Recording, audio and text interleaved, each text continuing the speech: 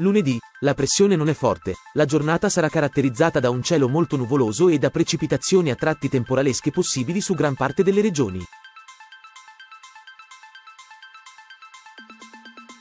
Martedì, goccia fredda ancora in azione, pertanto la giornata trascorrerà con un tempo instabile con rovesci temporaleschi possibili ovunque, ma a carattere irregolare.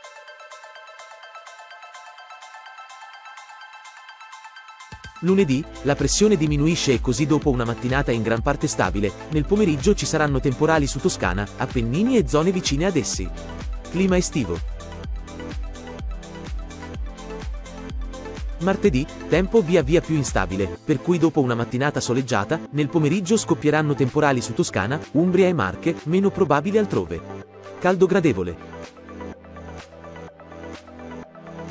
Lunedì, nonostante la pressione sia in diminuzione, la giornata trascorrerà con un tempo asciutto, ma il cielo si presenterà a tratti nuvoloso, soprattutto sulla Sicilia.